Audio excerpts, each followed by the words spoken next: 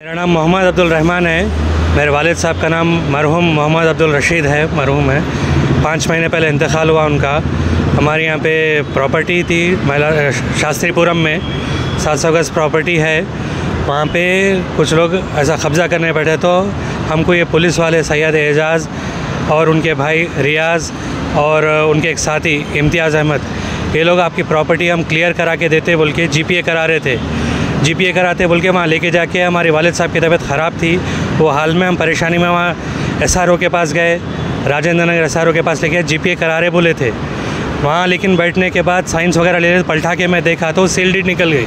आप सेल बनाए क्या? बोले तो हाउ केस स्ट्रांग रहता, इसलिए हम सेल बनाए।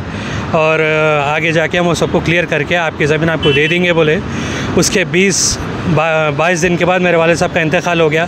कैंसर पेशेंट थे, उनका इंतकाल हो गया।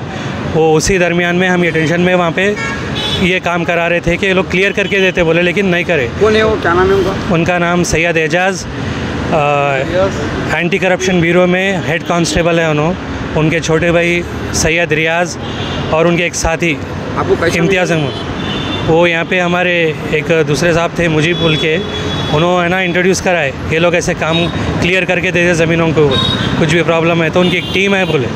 भरोसा कर सकते दे सकते सब क्लियर करा के लोग आपकी जगह आपको दे देते बोले लेकिन हमारे साथ फ्रॉड हुआ। रजिस्ट्री खरीद लिया भाई उन्होंने धोखा कर। रहा रजिस्ट्री की पैसे भी हमारे से लिए। कितने लिए? चौदह लाख पचपन हज़ार लिए। और उनके प्रॉपर्टी पाँच पाँच करोड़ की प्रॉपर्टी है वो। जी वैल्यू मार्केट वो लोग रजिस्ट्री के पैसे भी हमसे लिए। और आगे वहाँ गेट लगाते बोल के पैसे लिए कैमरा लगाते बोल के पैसे सब हमारे से लिए। अभी अब जब? वाले ख- जी। अभी कहाँ पर है? अब हम मैलरदेव पुलिस स्टेशन में आए यहाँ पे कंप्लेन दिए ये लोग पलट गए अपनी बात से वालिद साहब के इंतकाल के। अब हमारी ज़मीन हमारे को वापस नहीं देते बोल रहे। क्या बोले? पुलिस वाले क्या बोले? पुलिस वाले तो पूरे कॉपरेट करें एफआईआर दर्ज हुई।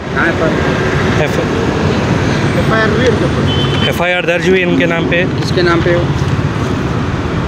ये सैयद एजाज, सैयद रियाज, इम्तियाज़ अहमद और मुजीब, चार नाम पे है।